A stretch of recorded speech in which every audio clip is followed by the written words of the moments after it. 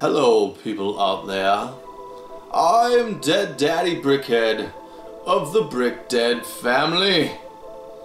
And I am here to invite you to our YouTube channel during the entire month of October as we give you the 31 days of Halloween.